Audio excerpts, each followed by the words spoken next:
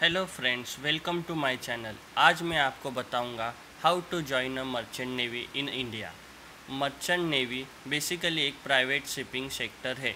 ये international import export का backbone माना जाता है. Lakhs of merchant ships cargo और पैसेंजर को एक कंट्री से दूसरे कंट्री ले जाते हैं. मर्चेंट नेवी एक रियली ग्लैमरस जॉब है. ये आपको कम उम्र में रॉयल लाइफस्टाइल जीने का मौका देगा. इस फ़ील्ड में बहुत सारा पैसा है. आपको ट्रेनी लेवल पे भी बहुत ज़्यादा सैलरी मिल सकती है। आपको नए नए देश घूमने का मौका मिलेगा। अगर आप ट्रैवल करने में रुचि रखते हैं तो ये फ़ील्ड आपके लिए बना है।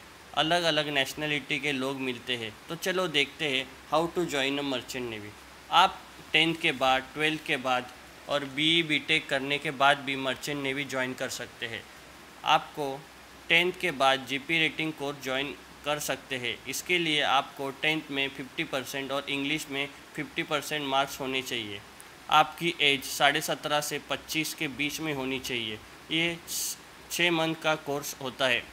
इसके, इसमें आपको basic machinery of ship, fire fighting, survival techniques और बेसिक कामों की ट्रेनिंग दी जाती है। इसके बाद आप इंजन और डेक दोनों में से एक साइड ज्वाइन कर सकते हैं। डेक साइड में आप ओएस के रैंक पे ज्वाइन कर सकते हो।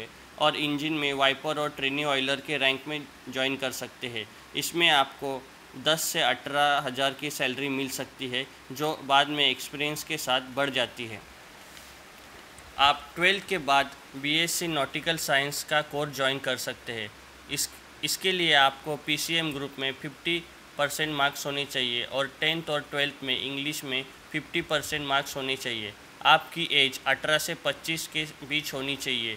ये तीन साल का कोर्स होता है और इसके बाद आप डेक कैडेट और ट्रेनिंग ऑफिसर, जूनियर ऑफिसर के रैंक में ज्वाइन कर सकते हैं और बाद में प्रमोशन से आप ये कैप्टन के रैंक तक पहुँच सकते हैं।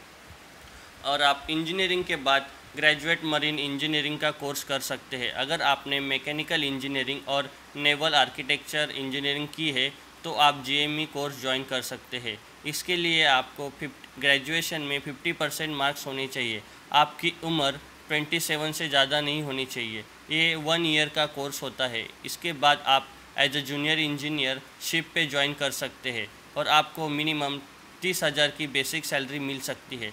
और इसके बाद भी आप, अगर एसी टेक्नीशियन है, आपको एसी मेंटेनेंस का नॉलेज है और आप डीजल मैकेनिक है, आपको इंजन ओवरऑलिंग और मेंटेनेंस का नॉलेज है और आप एक प्रोफेशनल डाइवर है और आपको वेल्डिंग और कटिंग अच्छे से आती है तो आप मर्चेंट नेवी ज्वाइन कर सकते हैं। That's all my friend this is total about how to join merchant navy in India thanks for watching this subscribe my channel for new exciting video